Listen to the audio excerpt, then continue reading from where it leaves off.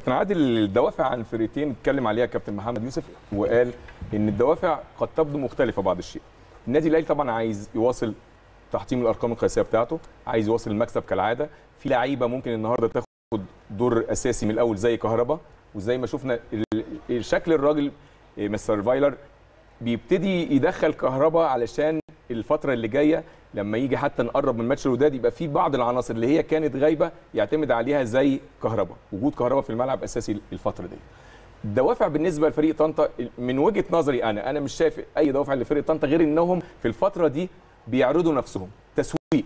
دي حقيقة. يعني كابتن رضا عبد العال سواء كابتن رضا عبد العال أو لعيبة طنطا أعتقد الماتش بالنسبة لهم تسويق واستثمار.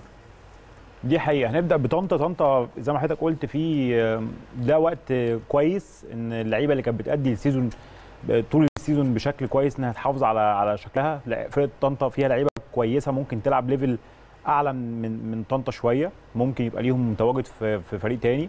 آه، أعتقد برضو ممكن يبقى عايزين يخلصوا ال season بأعلى استثمار هم ممكن يخرجوا بيه من ال season. إذا كان بيع لعيبة أو أو إن لعيبه تقدم مستوى كويس أو إن هو يخلق كمان ناشئين أو حاجة تفيده في ال season الجديد في في الممتاز ب. فدي الدوافع اللي موجودة. آه برضو نفس الشيء. كابتن رضا برضو رايح رايح الفرقة وعارف إن هم يعني نازلين. واحيانا في آه أنت ممكن تعمل مباراة كبيرة مع مع فرقة كبيرة زي أهلي أو زمالك.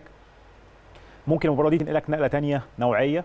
إحنا عارفين طبعا إن كل المدربين لما بيلعبوا أو كل اللع- اللعيبة لما بتلعب قدام فرق كبيرة بيبقى مباراة مختلفة شوية. م. يعني مباراة الأهلي والزمالك متشافة بشكل آه، أفضل. و... وإن هو مكسبه للأهلي والزمالك بي... بي... بيوفر عليه أكنه عمل season كامل بمكاسبه وبخساراته مش مش مش فارقة كتير. ولكن ده دافع لفرقة طنطا. فرقة الأهلي أعتقد الدوافع آه، يعني في في في كذا اتجاه للدوافع. الدوافع إن إن اللعيبة توصل لل top form بتاعها. الدوافع إن اللعيبة آه، تكسب كل الماتشات بتاعتها قبل مباراة الوداد ودي أيوة. حاجة مهمة جدا إنك تدخل مباراة الوداد وأنت بتكسب ودي حاجة كويسة. زي زي فترة الإعداد في المباريات الودية بتبقى محتاج إن أنت تاخد ثقة. اللعيبة عايز تاخد ثقة وأنا شايف إن الفترة دي هي فترة إعداد لدوري أبطال أفريقيا. مباراتين الوداد وإن شاء الله مباراة الفاينل يا رب وإن شاء الله النادي الأهلي يتوج بالبطولة. بإذن الله. آه، ففي دوافع كده. في دوافع تانية منافسة اللعيبة لبعض. يعني برضو أنا عندي دوافع النهارده موجودة. في كذا لعيب دخل في الصورة. فبالتالي هيبقى في دوافع بين اللاعبين إنه يؤدي كل واحد أحسن آه، مستوى عنده عشان يبقى ليه دور في القايمة. وليه دور في إن هو يبقى ليه دور مؤثر في مباراه إن شاء الله القادمة بإذن الله. ومباراة الفاينل إن شاء الله يا رب.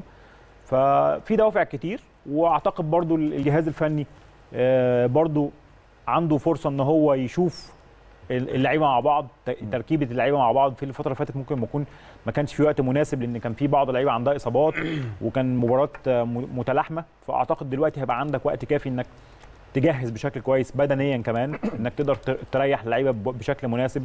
المباراة اللي فاتت علي معلول كان مريح النهارده موجود. آه، ممكن تشيل مباريات في النص تعمل آه، تعمل تعمل استشفاء سريع للعيبة وتخليهم يوصلوا مباراة الوداد في أحسن حال.